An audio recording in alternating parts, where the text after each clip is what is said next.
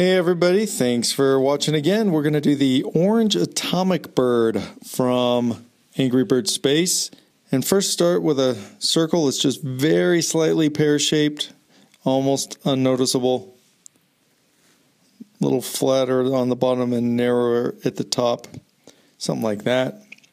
And we're going to do two eyeballs almost at the top of the head, just down a little bit. So I'm going to draw one, and this time he's looking off to the side, so the back eyeballs overlapped quite a bit. Then you're going to draw the big banana beak.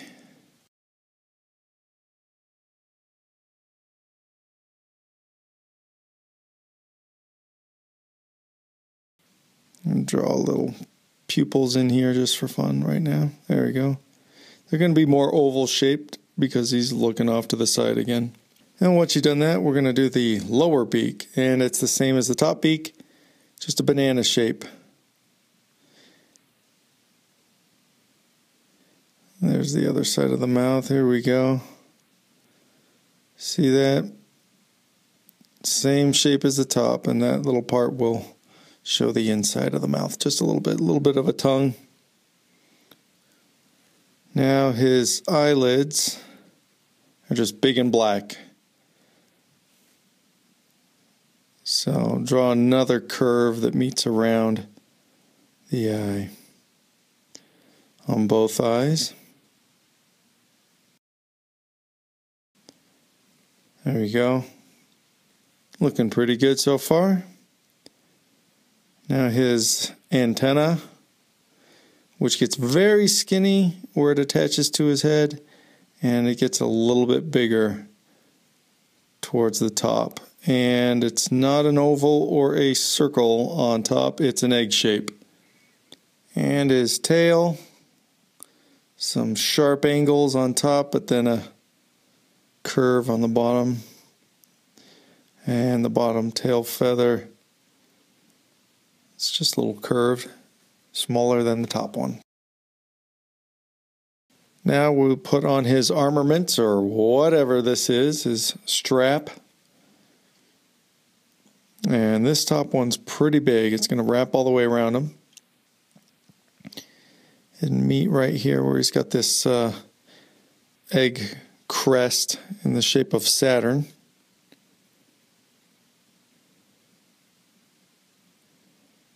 There we go.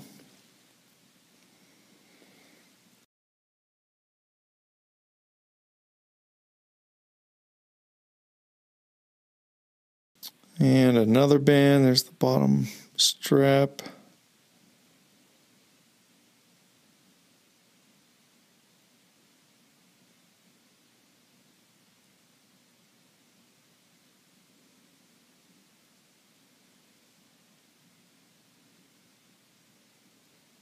There we go. You don't want these to be straight because that would mean his body's flat, so give him some curve, especially when it gets towards the edge.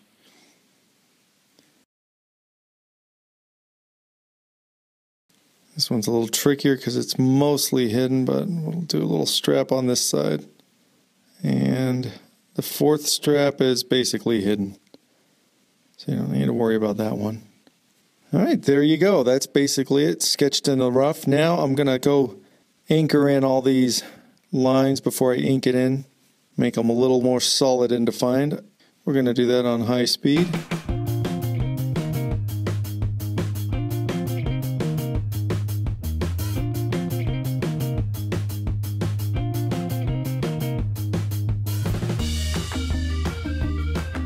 Now with this, we're going to do something that I have not done in years, and that's make it an animation cell. And cartoons now are all done on computers. They, I'd be just shocked if anybody's still painting animation cells anymore, because um, it's just not cost effective. It's just way too expensive to animate that way. But it's really fun to do. So once you're done drawing your picture and filling it in with pen, take a photo of it. You can use an iPhone or anything really, and try to make it well lit and clean. Go somewhere bright so you don't get a lot of gray where the paper is. It's just, you know, basically a nice sharp white and black photo, not a gray and black photo. You just want to see your solid black lines and then white paper. That's it. Then what you need to do is print it out. Now I'm printing on a transparency. You can get these from Office Max, Office Depot, any paper supply place, and they are sold in, you know, pack. I can't remember how many you get, maybe a hundred. And it's just the same exact size as a sheet of paper, but you can print on it with a laser printer. Now I made a mistake. I made a few mistakes actually, because I'm looking at it and where are his eyebrows? They are not here. So I'll have to fix that. So I'm going to draw in the eyebrows that I botched up on. Okay, sometimes you don't notice details like this until it's too late. It's not too late though, I'll just go over it. And I should have drawn the first bird bigger because then I could have shrunk it down on the computer and printed it out smaller and that would have made my lines really nice and clean.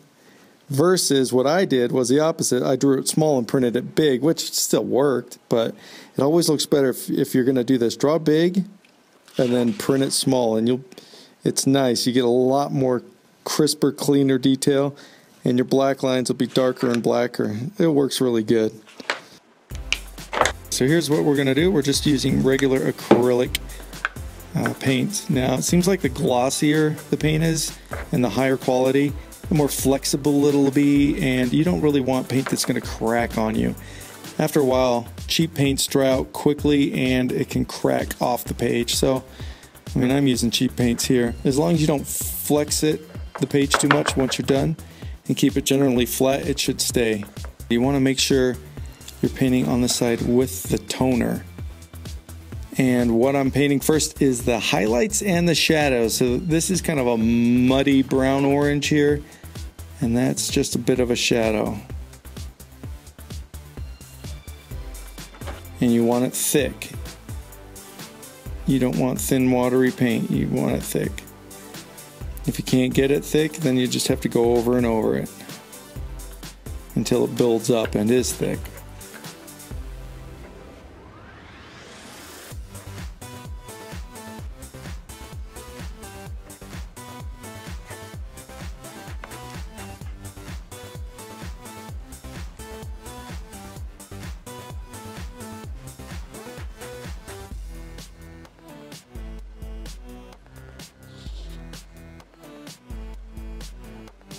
Now, if you make a mistake and like I just did and you need to wipe it off, this is really easy to do. As long as it's not dry, you can just use your finger and smear it off. You can't do that with paper, canvas, anything, but with this, if you get a little blob of ink, just take your finger and wipe it off. Now, I have not done an animation cell in a long time, so I made another mistake that I forgot. You need to flip the image when you print it. So I'm applying paint on the back side of this image. When we're all done, we're to flip it over and it's to look really good. So I should have printed it a mirror image, but whatever, he's just to face the other way now. I don't really care.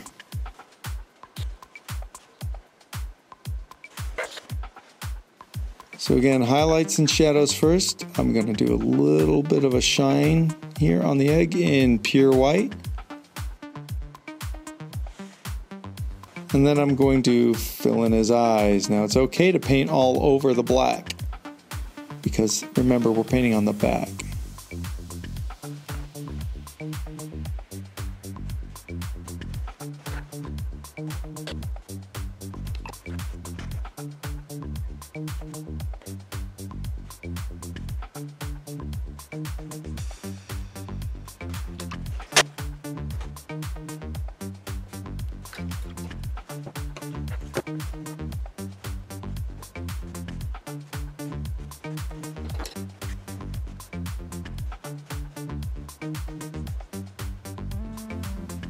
This paint I'm putting on is a little bit runny and runny means you're gonna see light through it. You don't want a thin coat of paint. So I'm gonna glob it up, make it nice and thick.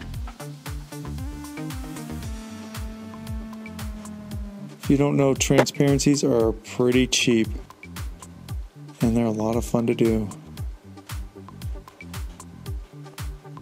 And acrylic paint's really not that expensive either. If you have the money, you can buy lots of colors and you don't need to mix them. Especially if you're not very good at mixing. Now for the mistaken eyebrows. Another mistake I made. It's okay. We'll just put them in now. There we go. And check this secret out. See, I need an eyebrow to go through his antenna. You take something sharp, it could be a kitchen knife, whatever, I'm using a razor blade, you can scratch off your toner. So that's a really helpful trick.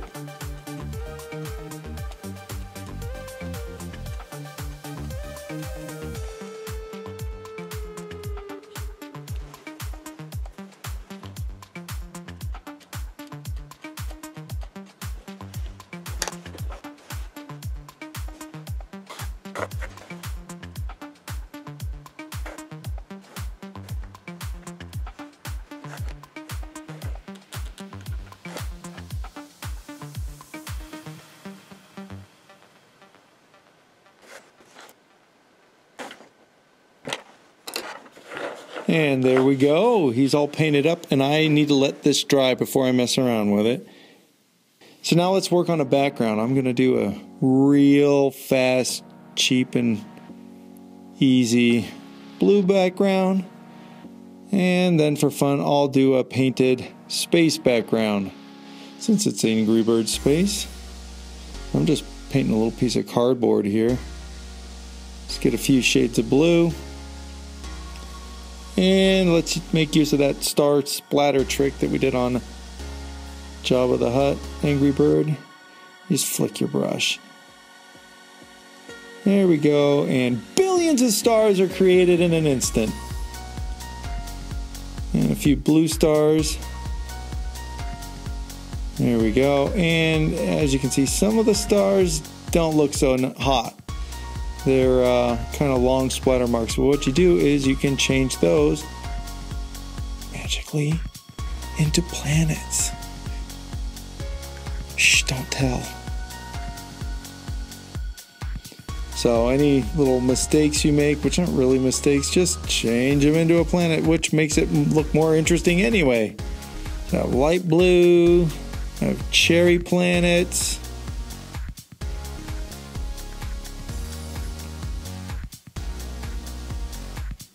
Do some yellow lemon planets.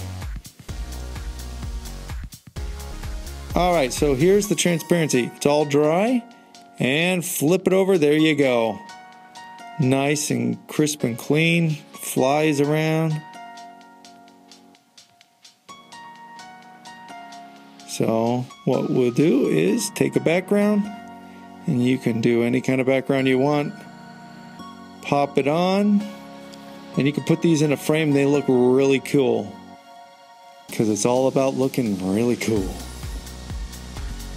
And if you put something in between, see I, if I lift it up a bit, it has its own drop shadow. Makes it pop out, look a little more 3D. You can actually get frames that are just two pieces of glass with no background, and those look really neat too. Oh, here he is floating through space. Oh no, the angry bird, the orange atomic bird, it's gonna blow us all up. Anyway, I hope you try this one. Remember, transparencies are not that expensive. You can get them anywhere. You can have a lot of fun. You can change the background. You could even do your own animations if you've got all the time in the world. but this is how they do it. And uh, I hope you had a lot of fun and Again, I'm going to do another one tomorrow, so go ahead and subscribe and we'll have some more fun. Thanks for watching. Bye.